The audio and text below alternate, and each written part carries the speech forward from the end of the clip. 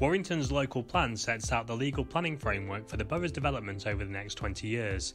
It'll guide the housing, business space, transport infrastructure and community facilities that we need for the future. Our draft local plan aims to deliver a minimum of 18,900 new homes, or 945 a year, up to 2037. It also aims to support jobs and economic growth in Warrington by making 362 hectares of employment land available. Our population is growing and our economy is thriving. We need to respond to that by making sure we have enough homes for local people now and in the future.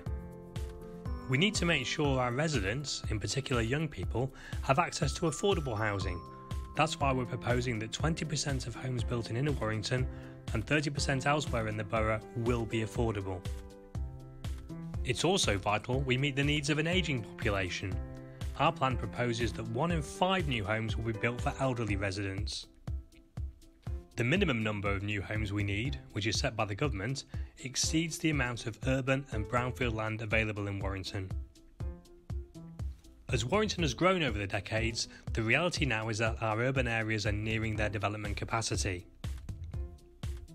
We've undertaken an exhaustive search of all urban and brownfield development options, including high density development in the town centre and the surrounding area. This shows that it's possible to deliver around 14,000 new homes and 115 hectares of employment land in existing urban areas. This means that the remainder of land for housing and employment would need to be released from the Greenbelt. Proposing to release Greenbelt land is a last resort. But the plan also sets out the areas that need to be protected from development. The plan will ensure that around 90% of Warrington's greenbelt will be retained and protected well beyond the end of the plan period in 2037.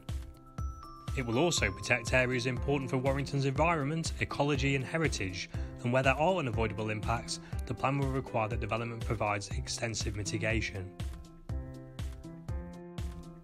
The government requires that all local authorities have a viable local plan, we want to use our plan to build a better future for Warrington and its people. It's about delivering homes, employment opportunities, roads, schools, medical centres, shops, and community facilities to support thriving new communities. Getting the transport infrastructure right will be fundamental to the plan. That's why we've also launched our draft fourth local transport plan, which we call LTP4. This important plan will run alongside and support our local plan. You can find more about this document on our website. The Council hasn't drawn up the local plan in isolation. It follows national planning policy and, just as importantly, has been informed by the thousands of representations already made by the public. Help us get it right by having your say. Your views are vital in shaping the plan and will help determine how Warrington develops in the future.